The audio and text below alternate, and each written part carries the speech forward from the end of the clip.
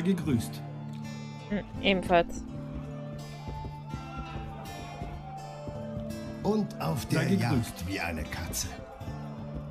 Ja, Wie lebt es sich mit den Soldaten Roches? Toll.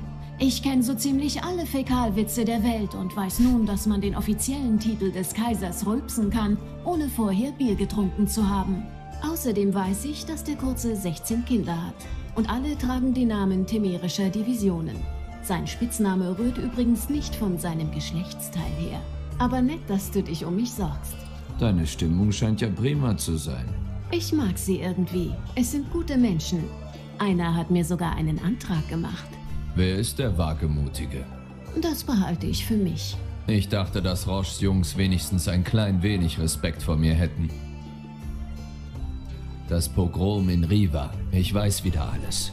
Der Pöbel, abgeschlachtete Anderlinge, ein Junge mit einer Mistgabel. An was erinnerst du dich noch? An den Tod. Oder einen ähnlichen Zustand. Ich weiß nicht genau. Ich spürte, wie mein Leben entweicht. Ah, ich war dort. Nur einen Augenblick danach. Zu spät. Ach, das sind nur Erinnerungen. Wir haben jetzt ganz andere Sorgen. Ist erst mein Gedächtnis zurück, finde ich Antworten auf viele Fragen, die die Gegenwart betreffen. Das spüre ich. Ja, und ich glaube, Triss hat so ein bisschen Bammel davor. Hat jemand was gesagt oder war das ein Furz? Das war ein Furz. Ach, Tod und Teufel, das war aber dicht am Leder. Heda, Wirt, bring Schnaps. Triss Marigold, da sollen mich doch die Läuse beißen. Du siehst bezaubernd aus. Vielleicht ein bisschen blass? Zaubern kann anstrengend sein, aber ich bin bald wieder in Form. Schön, dich zu sehen, Zottelbart. Erzählt ihr uns mal, was hier Zottelbart. los ist. Ihr wolltet doch vor einem Monat zu Soltans Hochzeit gefahren sein. Was macht ihr hier? Ist alles den Bach runtergegangen. Vergiss die Hochzeit. Habt ihr von Volltest gehört? Gerüchte reisen schneller als der Wind. Ich würde gern die Wahrheit erfahren. Winde und Gerüchte interessieren mich nicht. Wie ist Foltest gestorben? War der wirklich ein Drache? Wer regiert in Temerien? Luft holen, Rittersporn, du verschluckst dich noch.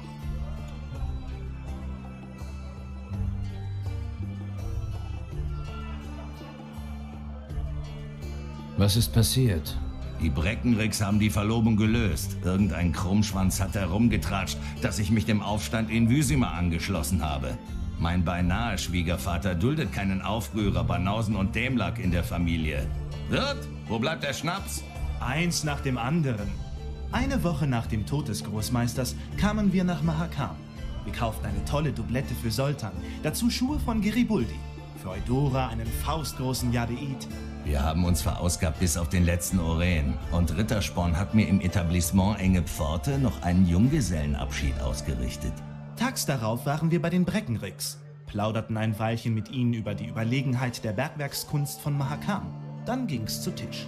Als ich schon glaubte, alle Geheimnisse des Montanwesens zu kennen, wurde die Suppe aufgetragen.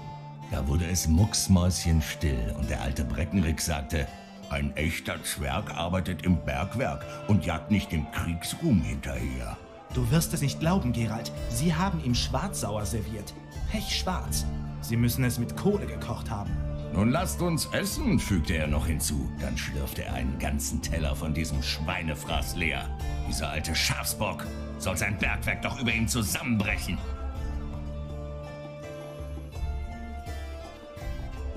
Loredo sagt, du hältst es mit den Skoyatel. Stimmt das, Soltan? Du kennst mich doch, Gerald. Ich habe in meinem Leben schon dies und das getan. Aber ein Bandit bin ich nicht. Die Skoyatel halten sich auch nicht für Banditen, wie wir wissen. Aber ich bin kein Skoyatel. Seit wann arbeitest du für Roche? Als du Temerien vor dem Großmeister und seinen Mutanten gerettet hast, hat dir das niemand vorgeworfen. Ich mache dir keinen Vorwurf, ich frage nur. Du kannst tun, was du willst, bist ja erwachsen. Jetzt übertreibst du aber. Lacht nur, lacht. Ich habe beschlossen, etwas Nützliches zu tun. Früher hast du für Redanien Nützlich, am spioniert, Geigenbaumeln. jetzt tust du es für Temerien. Manche würden dich einen Verräter nennen. Von der Poesie allein kann man nicht leben. Ich bin ein Weltbürger. Solange ich nicht Kaiser M hier diene, tue ich nichts Unrechtes. Komm schon, Gerald. Der spioniert ein bisschen herum, bis es ihn langweilt. Du kennst ihn doch. Der Drache. Tja, der ist dort eben aufgetaucht. Mehr weiß ich auch nicht. Wo hatten die Lavalettes den denn plötzlich her? Er soll ja groß wie eine Scheune gewesen sein und für sie gekämpft haben. Drachen sind nicht für politische Parteinamen bekannt. Vermutlich hatte er einfach nur sein Gelege in der Nähe. Hättest du ihn nicht vertrieben, hätte Foltest die Burg nicht erobern können. Möglich, aber das ist Spekulation.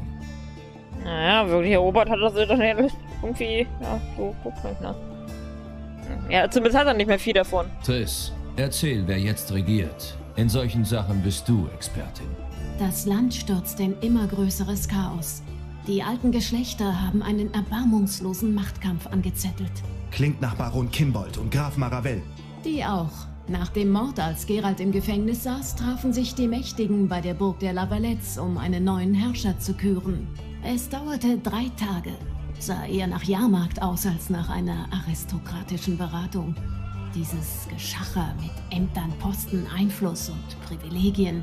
Menschen eben. Es gab einige Duelle, ein paar Vergiftungen, aber keinen neuen König. Stattdessen um ein Haar einen Bürgerkrieg.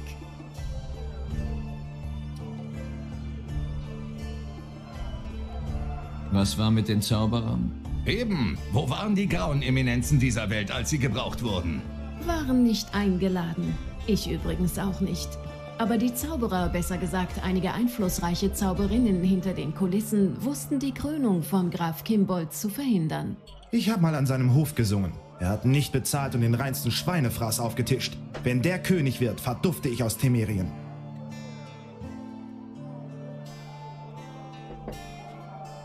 War es wie immer oder ist was dabei rausgekommen?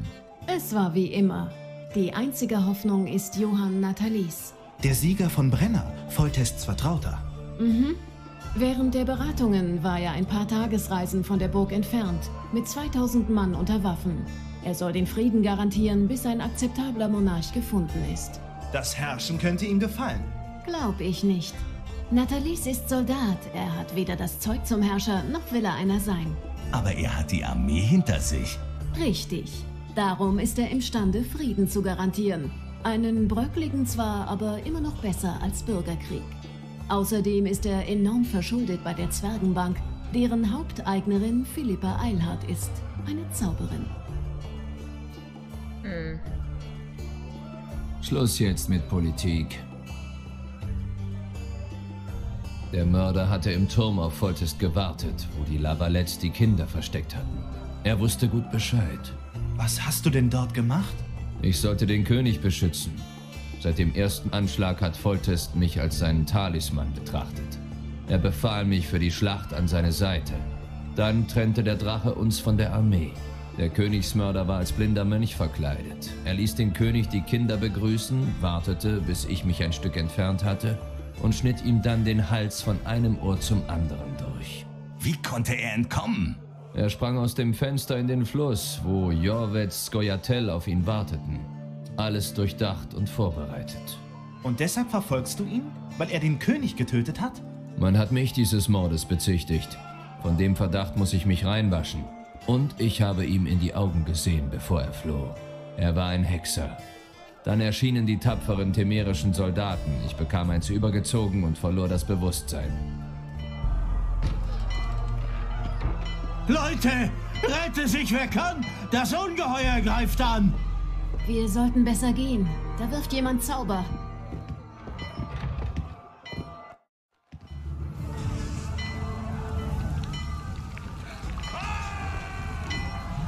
Uh, Tentakelmonster.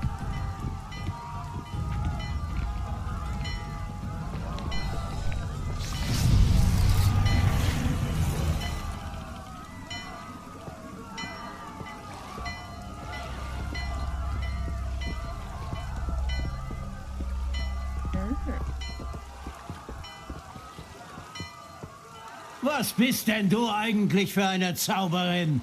Hörst du nicht? Warum hast du ihm nicht geholfen? Er lebt doch.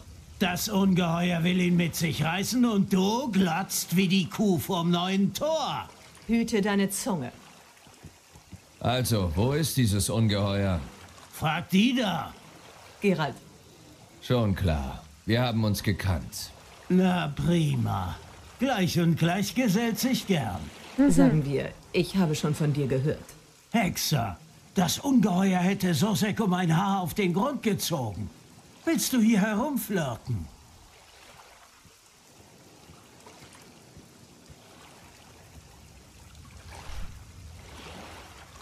Was ist denn passiert? Ich kam nach Flotsam, um den Kairan zu töten. Den Kairan? Das Ungeheuer, das den Hafen blockiert. Wir hatten soeben das Glück, ihn in seiner ganzen Schönheit zu bewundern. Aber die Leute haben ihn verschreckt. Glück? Hörst du, Susek? Du hattest Glück. Und wie kommt das Naja, Glück hatte er plötzlich in den wirklich. Hafen? Vielleicht hat es die Hexe herbeigerufen. Um es in seiner ganzen Schönheit zu bewundern?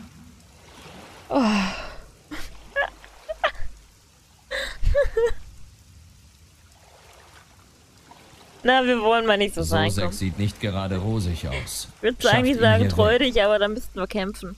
Ich hab grad keinen Bock auf kämpfen. Allerdings. Wir haben genug geplappert. Los, Jungs, bewegt euch. Was denn? Ich denke, wir kloppen uns jetzt. Schnauze, wir gehen. Verzeihung, wenn ich störe. Ich bin Ludwig Merse, Flotsams Zuständiger für Monsterprobleme. Und ich wüsste gern, ob die Herrschaften sich vielleicht des Kairans annehmen würden. Einer scheußlichen Bestie im Fluss, die den kompletten Handel lahmlegt. Nun, Hexer, arbeiten wir zusammen? Üblicherweise arbeite ich allein. Aber ich war zuerst hier und trete diesen Auftrag nicht an dich ab. Also hopp oder top, wie die Leute hier sagen. Also gut, ich mach mit. Wegen der Belohnung. Bitte handelt Sie mit den Kaufleuten bei den Docks aus. Die Herrin de Tankerville hat wohl schon erste Verhandlungen geführt. In der Tat. Dann äh, will ich nicht weiter stören.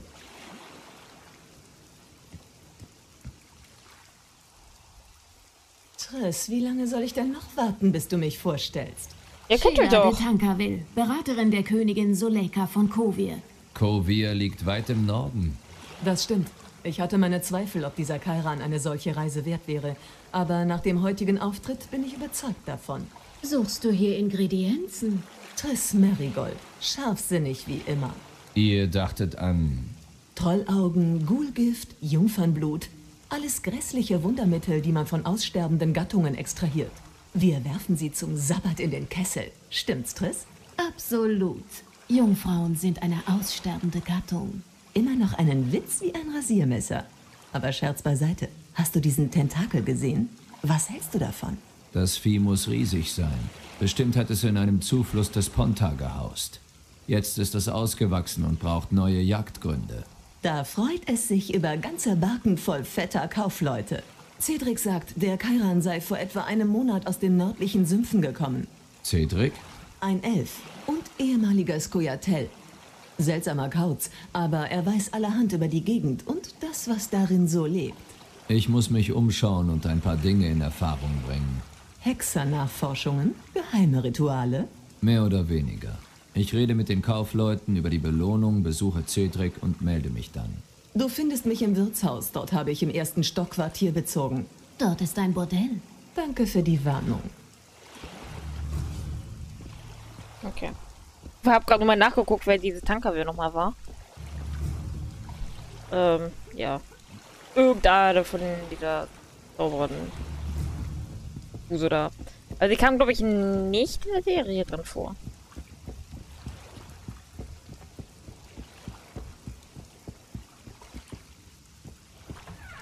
Gibt es hier irgendwas? Ich bin ja immer noch ein Händler, ne?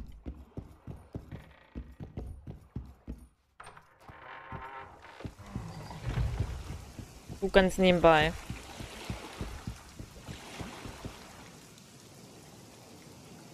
Ah, so kann ich das Interface ausschalten. Das ist schon mal gut. Oh, und ich habe das Quest-Log gefunden. Oh mein Gott. Orte. Ja, ich hätte ja gesagt, ich lese hier ganz Quatsch vor.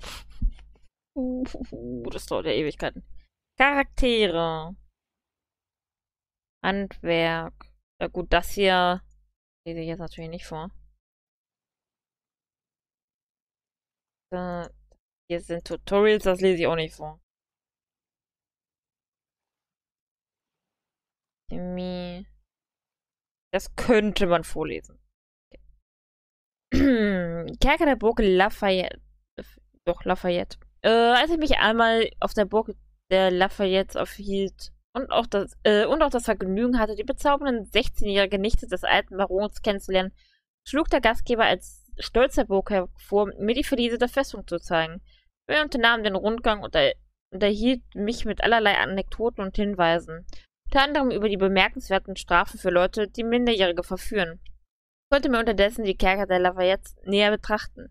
Ungewöhnlichen höfliche Wächter schienen über ein geradezu körperliches Verständnis des Labyrinths aus Gangzellen und Nebentüren zu verfügen. Allein würde man sich wohl, äh, wohl, wohl sofort verirren. Wer da gefangen ist, kann einem leid tun. Äh, ja, wir waren selber gefangen. Äh, die Burg Lafayette. Äh, auf meinen Reisen war ich schon mehrfach zu Gast auf dem Familiensitz der Lafayette. Der, äh, wer Wiesema für einen staatlichen Burg hält, hat, hat die Festung noch nicht gesehen. Ihre Größe raubt einem den Atem. Eigentlich könnte man sich nicht mehr als Burg bezeichnen. Sie wurde von Generation zu Generation zur imposantesten Befestigungsanlage Temeriens. Vielleicht sämtliche, sämtlicher Nord Nordreiche ausgebaut. Dank der Lage bei der strategisch wichtigen Weißen Brücke über den Ponta ließ sie von hier aus der, die ganze Gegend samt Handelswe Handelswegen und Fuhr kontrollieren. Kein Wunder, dass der Aufstand der Lavallettes König Wolters den Schlaf raubte. Okay.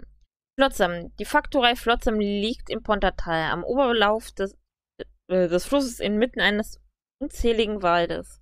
Mehr, mehrere Handelsrouten kreuzen sich hier an der Grenze zwischen Temerien und Edirn. Die Reisen auf dem Landweg nach Flotsam ist mühsam und riskant aufgrund zahlreicher Elfeneinheiten im Wald. Doch das heißt, Elfen sind wie Katzen, sie mögen kein Wasser. Deshalb wählen die meisten Reisenden und Kaufleute den Ponta als Weg. Lastkähne, Flöße und kleinere Segelschiffe, aber auch manche Hochseekuggen ankern hier und sorgen für regen Warenaustausch zwischen Eltern, Ketwin, Timerien, Redanien und Zidaris an der Küste. So nimmt die ökonomische Bedeutsamkeit der kleinen Ortschaft nicht Wunder, und, und wer Flotsam kontrolliert, verdient kräftig mit am Handel. Als unsere Geschichte begann, gehörte Flotsam zu Timerien und ihre kleine Garnison sollte Recht und Ordnung durchsetzen und vor Flusspiraten, Scoia'tael und Monstern aus den umliegenden Wettern schützen. Der klappt ja nicht ganz so gut, ne? Das Bordell war eine von zwei Attraktionen in Flotsam, die für Einheimische wie Durchreisende zugänglich sind. Im Gegensatz zum Galgen hatte es jedoch feste Öffnungszeiten, ein Standardrepertoire und eine Stammbelegschaft. Ja. Die Wildnis von Flotsam. Der Wald im Flotsam war urwüchsig und undurchdringlich, der Weg nach Eddern kaum benutzt und völlig verwildert. Als Reisender konnte man sich leicht äh, verirren und wilden Bestien oder noch wahrscheinlicher Elfenfallen zum Opfer fallen. Die meisten Reisenden zogen deshalb den Wasserweg vor. Okay. Charaktere, Nebencharaktere. Alter, wie viele Hauptcharaktere haben wir denn?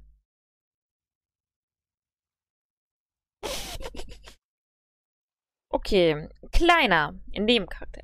Äh, dieser junge Mann glaubte, ein Wunderamulett zu haben, das ihn vor Verwundungen schützen würde. Gerrit hatte keine Zeit für Diskussionen und so zog Kleiner ohne Rüstung in die Schlacht. Äh, in die Schlacht gewappnet allein mit dem Glauben an seine Unverwundbarkeit. Entweder war der Glaube des Kleinen nicht stark genug gewesen, oder das Amulett, oder äh, ob magisch oder nicht, hatte eigentlich einen anderen Zweck. Äh, jedenfalls fiel der Kleine beim Sturm auf der Festung Lavayette. Das Spiel dauert wohl mindestens zwei Jahre. Äh, also ich hab's letztes Jahr innerhalb von einem Monat durchgespielt. Aber ich habe letztes Jahr auch nicht alles gelesen. Ich hatte ja beim letzten, im, oder im letzten Stream hatte ich ja gefragt, ob ich lesen soll. Und, ähm, ja. Ja. Wir lesen. Aber vielleicht ist es ja auch ganz interessant, was man hier so erfährt.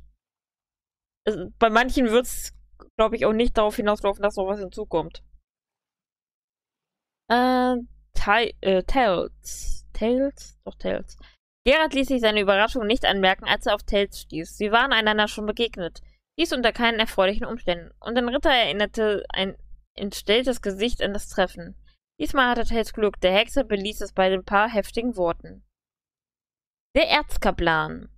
Die, äh, der kirchliche Würdenträger empfing die Eindringlinge mit scharfen Worten auf dem Schutz seines Gottes vertrauend. Schließlich ließ er, sie jedoch, äh, ließ er sich jedoch überzeugen und gab den Aufenthaltsort der unheim unehelichen Königskinder preis. Einer Gausel. Einer Gausel war nicht nur ein wohlinformierter Buchhändler, sondern auch ein versierter Barbier. Damit hatte Gerard die einzige Person im Flotsam entdeckt, die sich professionell seines Schopfes annehmen konnte. Das werden wir auf jeden Fall auch in Anspruch nehmen. So. Alter. oh, das ist ein Buch. Okay. Gerald von Riva. Dies ist unser Held. Als Kind Mutationen und harter Ausbildung in Magie und Schwertkampf unterzogen, ist er nun ein übermenschlich geschickter Töter von Ungeheuern, ständig in Geldnöten und verachtet von denen, die er beschützt. Auf der Suche nach Aufträgen zieht er durch die Welt. Das Schicksal verschont ihn durchaus nicht und türmt ihm Hindernisse in den Weg. Er aber lässt sich nicht beirren, dabei hat er mehr Skrupel als ein Bettler Flöhe. Seine, seine Zweifel lassen ihm keine Ruhe. Selbst wenn eine Bande messerbewährter Schurken auf ihn eindringt, ist er ein guter Mensch. Äh, ist er ein guter Mensch. Ich glaube nicht, äh, ich glaube nicht. Versucht er seine Menschlichkeit zu bewahren? Ich glaube schon. Man muss wissen, dass Gerard von Riva schon einmal gestorben ist. Jedenfalls dachte das, dachten das alle. Als er bei einem Pogrom in Riva Anderlinge verteidigt, war der erdrückenden Übermacht des Mobs jedoch erlegen. Man betete, äh, bettete ihn in ein Boot und er trieb davon in den Nebel, wo er Frieden fand. Jedoch nicht für lange. Durch Kräfte, von denen noch zu reden sein wird, kehrte Gerard zurück. Gerade rechtzeitig, um die Hexerfestung zu verteidigen und die geraubten Geheimnisse zurückzuholen. Ah, das geht dann um den ersten Teil. Außerdem beteiligte er sich an einem Aufstand des Goyatel, zerschlug eine mächtige Verbrecherorganisation, tötete den Großmeister des Ordens der Flammrose und erwarb sich als Liebhaber eine, einen beachtlichen Ruf. Ohne Scheiß, das, das letzte Stückchen hier übrigens, alles was jetzt äh, ab äh, der Hexerfestung ist übrigens die Geschichte, die wir gespielt haben. Hätten wir zum Beispiel nicht mit den ganzen Frauen geschaffen, stünde da was anderes. Hätten wir uns nicht den Squire Tail angeschaut, stünde da übrigens auch was anderes. Das steht da nur, weil wir den Spielstand einmal importiert haben. Ne? toll. Deswegen sind wir jetzt ein Weiberheld. Ja, ganz toll. Äh, beachtlicher Hof. Gerard, wie er leibt und lebt. Nicht zuletzt konnte er ein Attentat auf König Vordes verhindern und gehört forthin zu dessen engsten Vertrauten. Juhu! Ich lese jetzt aber nicht alles, ne? Ich lese hier bis Anis Lafayette, glaube ich. Den Rest äh, lesen wir beim wann anders. Ich liebe Frauen. oh, das ist auch ein Buch. Rückblickend lässt sich gewiss sagen, dass seine Majestät Voltus ein überragender Herrscher war. Der König von Temerien, Fürst von Sonnen, Herrscher von Ponta und Mahakam und Se Senior Protektor von Burge, Angren, Riverdale und Elandar. War entschlossen und tatkräftig. Er hält so ein, äh, erhält so ein Mensch einen Schlag, hört man am Klang, dass er aus Stahl geschmiedet ist. Und nicht aus Vogelkot geknetet. Was sind das für Vergleiche? Äh, Wortes war unverheiratet und pflegt ein ziemlich umfangreiches Privatleben. Schon als Jung jugendlicher Königssohn zeigte er, wozu er fähig war. Und das war einiges. Seine Romanze mit der eigenen Schwester und die Existenz der gemeinsamen Tochter Ada waren allein äh, allgemein gut, ebenso wie seine spätere Leidenschaft für die Baronin Maria Louise Lafayette. Beide Ver Verbindungen waren fruchtbar, wenn man so will, und Gerard geriet wieder mitten hinein in die Kabale, die daraus entstand. Borges hegte vermutlich noch Gefühle für seine frühere Geliebte. Er wollte die unheimlichen Kinder, äh, un, unheimlichen, genau, unehelichen Kinder aus dieser Verbindung retten, die zum Zankapfel in den politischen Ränkespielen zu werden drohten. Wenn Wolters sich etwas in den Kopf gesetzt hatte, konnte man es getrost vergessen, ihn davon abbringen zu wollen. Der Tod der Großen und Mächtigen dieser Welt passt nicht immer zu ihrem Leben. Der mörderische Angriff auf Wolters kam so unverhofft, dass ihn selbst der Hexer nicht verhindern konnte. Ein Stilett fuhr durch den, äh, des Königs Kehle, das Blut bespritzte den Boden der Einsiedelei. Einer der mächtigsten Herrscher des Nordens starb von der Hand eines Attentäters im, Mönch, im, im Mönchsgewand. Unheimliche Kinder, ja, die können unheimlich sein. Ja, manchmal können Kinder unheimlich sein, das stimmt. Ah, das, es wird ja immer mehr von Charakter zu Charakter. Natür äh, natürlich ist es unpassend, über sich selbst zu schreiben. Ach, okay, Rittersporn erzählt die, das Ganze.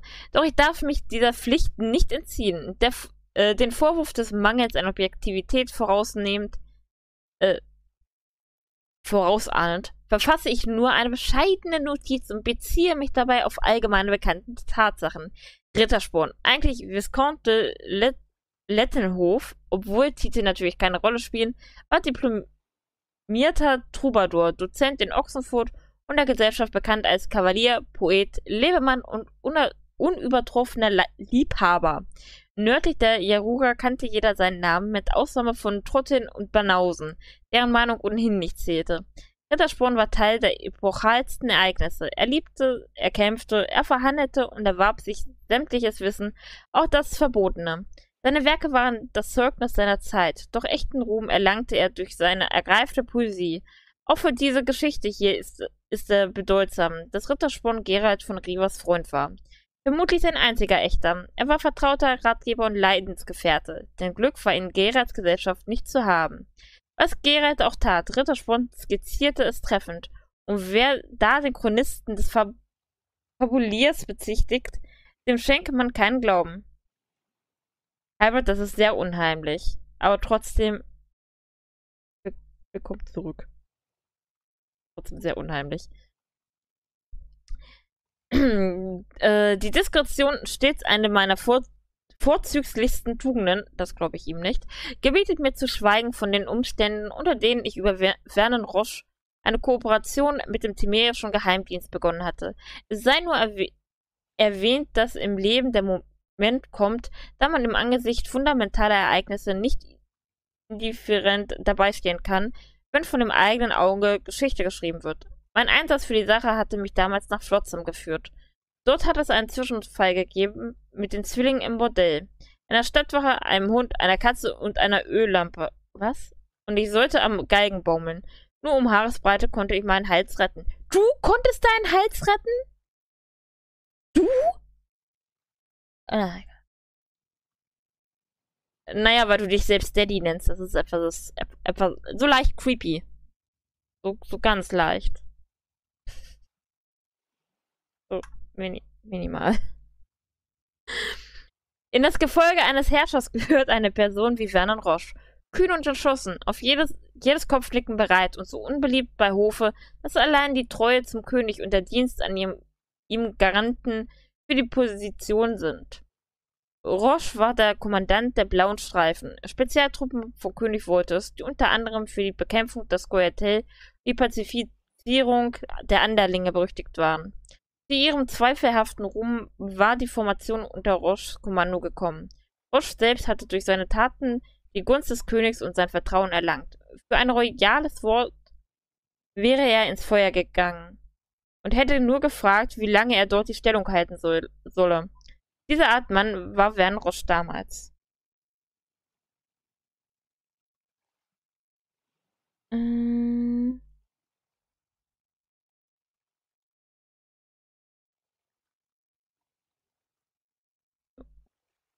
Äh, Van bewies Scharfsinn, indem er nicht so ohne weiteres an Ge Gerald Schild glaubte. Zu viele Dinge bedurften einer Erklärung. Der Kommandant der blauen Streifen ging das Risiko einer Zusammenarbeit mit dem Verdächtigen ein, um Wort des Mörders zu bekommen. Er hielt seinem König über den Mord hinaus die Treue.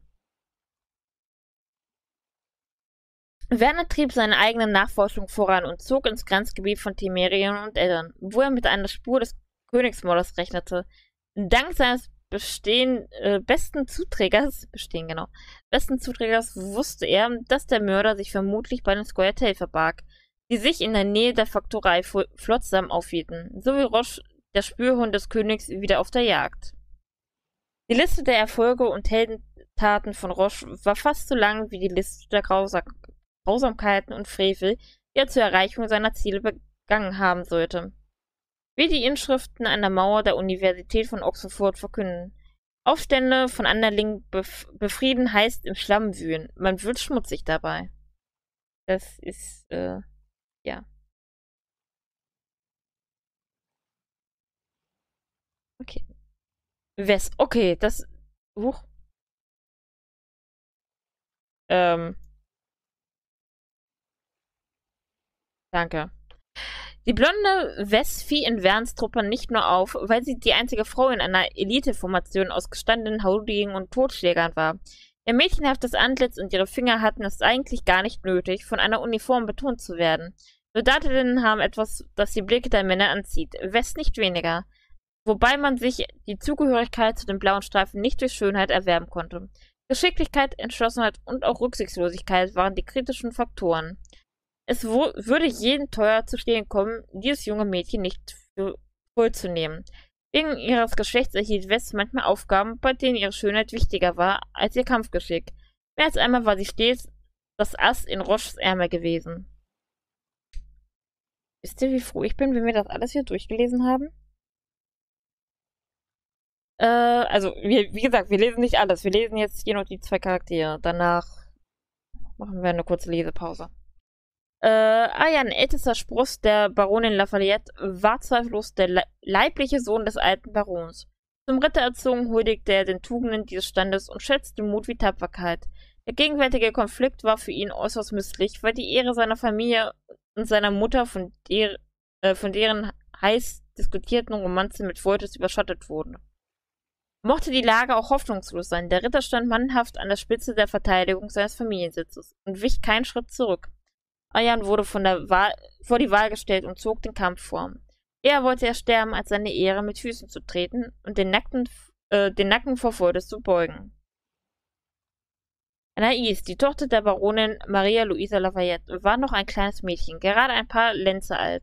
Das Gerücht, äh, sie sei die Frucht von König Wolters Lenden, war der Anlass für zahlreiche ein, äh, einschneidenden Ereignisse.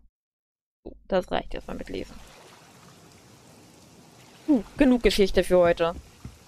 Die nächste Geschichtsstunde gibt es in zwei Stunden. Dann ist sehr gut.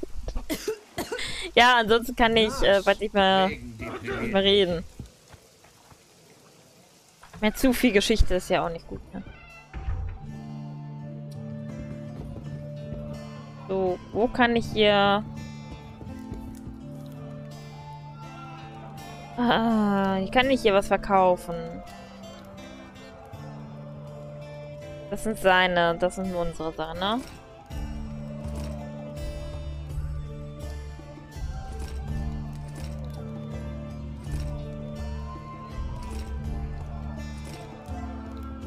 Okay.